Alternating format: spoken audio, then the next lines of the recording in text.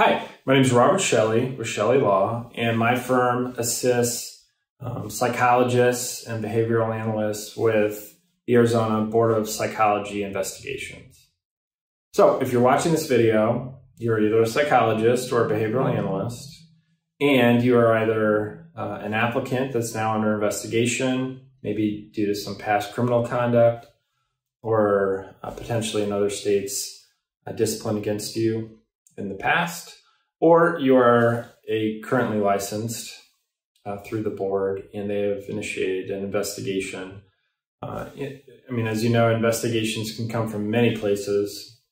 It could be a patient complaint, a complaint from a colleague. Um, it could be due to some kind of criminal self-reporting requirement, uh, substance abuse issues, behavioral health concerns um, for the licensee themselves.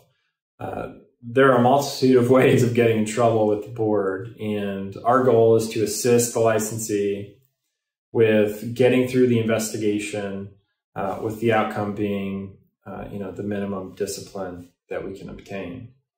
So, uh, how we help our clients during the process is we certainly tell them what to say and what not to say during the process. If there is an interview, then obviously we prep them for that.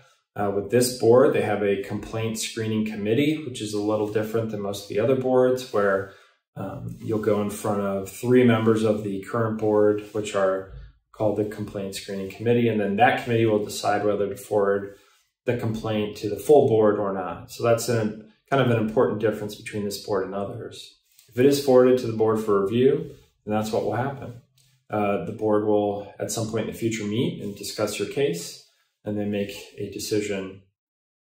Uh, we are there to kind of hold your hand throughout the process and, and, as I said before, try to minimize the disciplinary outcome. Because as you can imagine, a disciplinary outcome can have some uh, pretty dire consequences on someone's professional future.